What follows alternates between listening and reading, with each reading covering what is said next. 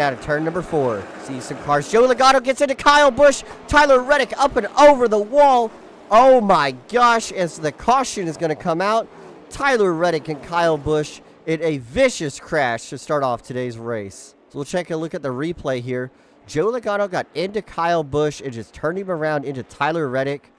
Reddick slides over the pit wall in a crazy crash that I don't think I've ever seen at a one mile oval. As you can see, as they come into frame here, Logano taps Busch. Busch goes around and Reddick has nowhere to go. Just gets involved in this crash, just an innocent bystander. What a horrible crash start off the race. You can see Tyler Reddick's getting towed away. As you can see, Kyle Busch is involved. These are two guys up in the top in points, so this is going to be very surprising to see how the points are going to look after today's race. Remember, Busch is locked into the playoffs already. Truex Jr. leading, both walls close. Oh, All car around, Erik Jones smashing the inside wall. Caution will come out for Erik Jones' his fifth season in the Rheem Cup Series, and he's going to end this very historic event in a very unfashionably fashionable way. Let's take a look what happened. Erik Jones looks like he came up the hill. Stenhouse hit him in the back of the rear end. And whoa, Carson Hocevar. I'm give a hundred on that wreck avoidance. That was insane. Take a look at him. Just comes right in front of his nose. But then Erik Jones's day comes to a smashing halt as he hit the inside wall, locked the brakes up, but just couldn't do anything about it. It's fun. Just disappointing. He had a really good run last week, hoping to get more. I mean, he could be a playoff team. He literally made the Final Four in the first season.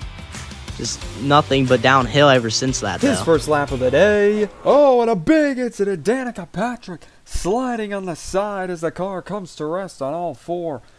Cautions out. Lap number five. First caution of the day. And how in the world did that happen? We'll take a look at the replay. Looks like Danica Patrick came down on Bobby Labonte and slides up into the outside wall, slides through turn one on the right side of the car, and then comes to rest on the back stretch, back on all four wheels here. But uh, not clear. Danica Patrick 36th, Bobby Labonte 37th. Their races will end early here at the halfway point at Pocono. So the track is all cleaned up. The 10 and the 32 have been taken to the garage area. That means we're ready for a restart.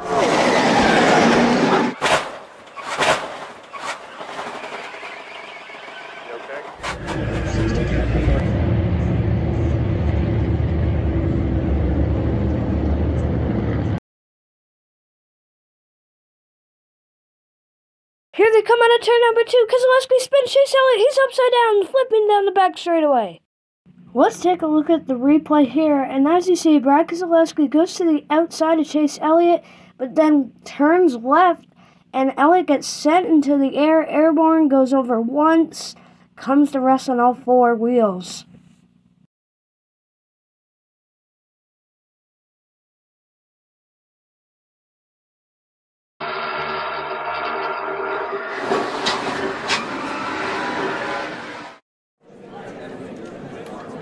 Bounces it to his inside. Oh, he's going to spin into turn number one. Keselowski backs into the outside, retaining all over back under the yellow flag. Oh, a big, big hit there to the back end of the number six car. Great to see the back end of that car actually crush in and not just bounce off the wall. As you can see right there, the six car, he just got way too far to the inside of the 99 and couldn't stick it.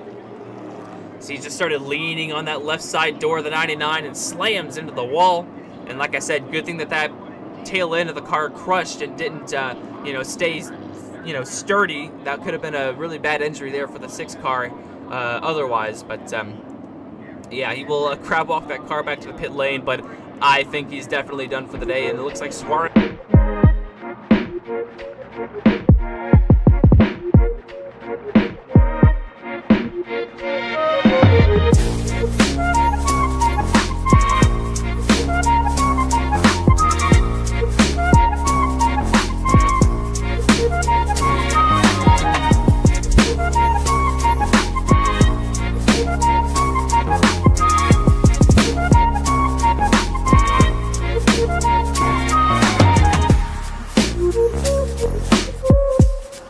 Thank